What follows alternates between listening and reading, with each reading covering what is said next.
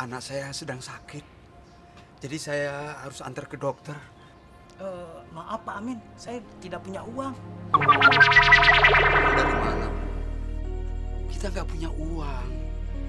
Ibu kan tahu Bapak cuma penjaga masjid. Penghasilan Bapak nggak seberapa, Bu.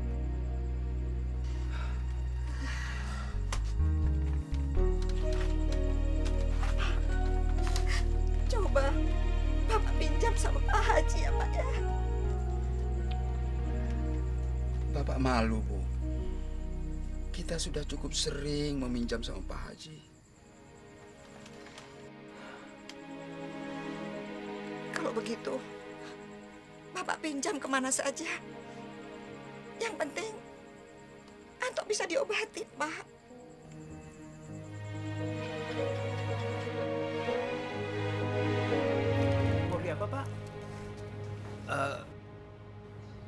Saya butuh uang, Pak. Eh, anak saya sedang sakit. Jadi saya harus antar ke dokter. Eh, maaf Pak Amin, saya tidak punya uang. Lagi warung saya ma- eh, lagi sepi. Maaf Pak Amin ya. Makasih, Pak. Ya, maaf Pak Amin ya, maaf Pak Amin. Saya butuh uang untuk dipinjamkan, Mas. Tidak ada, Pak. Saya juga perlu, Pak.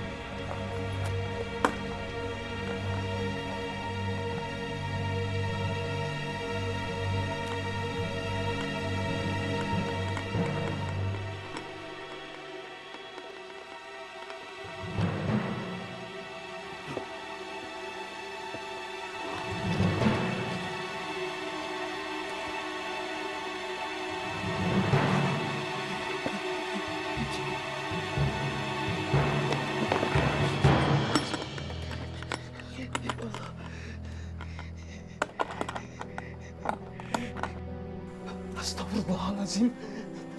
Apa yang aku lakukan kepadamu ya Allah? Aku mau mencuri di rumahmu ini ya Allah. Ampunkan aku ya Allah. Ampun ya Allah. Aku telah menggadai imanku.